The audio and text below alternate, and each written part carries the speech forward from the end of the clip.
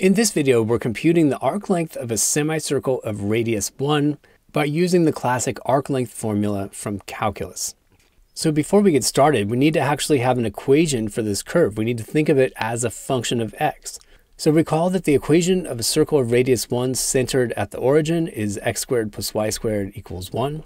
Well, if we solve that for y, we get equations for the upper and lower half of the circle. So I just subtract x squared from both sides and take the square root of the result and the upper half will correspond to the positive y values there. And that means the equation of our curve is y equals square root 1 minus x squared. So now that we have a formula for that function, we can apply our arc length formula. But I'm actually going to take just a few seconds to rederive that arc length formula from scratch because it's so fast. So the reasoning starts like this. We look at a tiny little section of arc that we call ds, provided that that's very small. It's very close to being a straight line segment. Then we decompose that into its x and y parts. So we have an infinitesimal horizontal piece, that's dx, together with an infinitesimal vertical piece, and that's dy. Now we simply apply the Pythagorean theorem to relate dx and dy to our arc length increment ds. So there it is, ds is the hypotenuse of that triangle. So it's the square root of the sum of the squares of the lengths of those two legs. And now we're going to factor a dx out of the inside of that square root. So pulling a dx out of that square root is the same as dividing each of those pieces by dx squared inside the square root. And when we do that, we end up with a dy squared divided by dx squared, which could then be written as dy over dx all squared. Well, then we recognize that as the derivative of y with respect to x. And there's our arc length formula.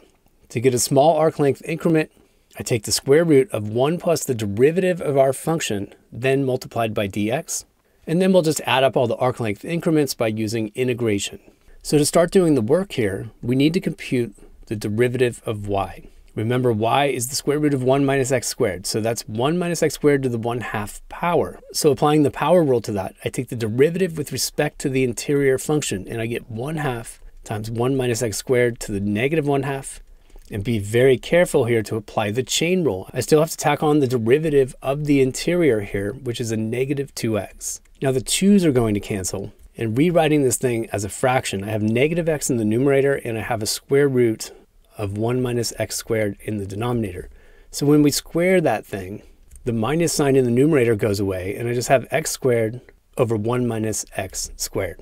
So all this means that our ds arc length increment is given by the square root of 1 plus x squared over 1 minus x squared dx. Now we can clean that up by getting a common denominator. So this 1 over here, I'm going to multiply that guy by 1 minus x squared divided by 1 minus x squared. And then I can just add these two fractions together. So when I add the numerators, I'm going to get 1 minus x squared plus x squared, all divided by 1 minus x squared. And of course, these x squareds in the numerator are going to cancel out. And things are starting to get quite a bit simpler here. Now my ds has reduced to the square root of 1 over 1 minus x squared dx. So let's go ahead and apply the integral here to find the total arc length. The total arc length s is going to be the sum of all the ds's. This is what integration does. It's a summation device for adding up infinitely many infinitesimal contributions. And so I could integrate from negative 1 to 1 here, but exploiting the symmetry of the problem, I can just say, let's integrate the right half of the semicircle that's on 0 to 1, and then double the result. And I'm going to write my ds in here as 1 divided by the square root of 1 minus x squared, and that's multiplied by dx. Now at this point, we have to recognize a common formula for an integral that gives us the inverse sine function.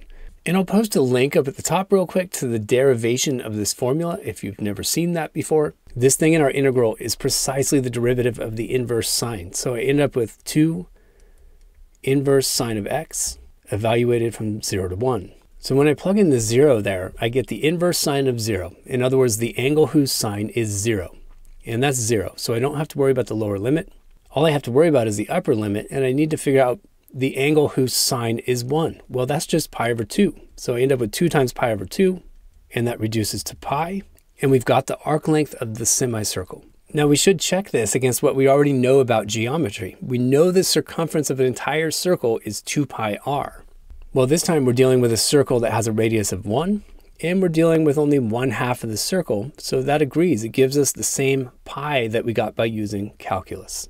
If you enjoyed this video or at least found it useful, check out another one by clicking one of the links on the left, or click the Zak's Lab logo on the right to explore dozens of physics and math playlists. As always, you can leave your questions, comments, and requests in the comments section below, and I'll get back to you within 24 hours. Thanks for watching Zak's Lab, and best of luck on your math and physics journey.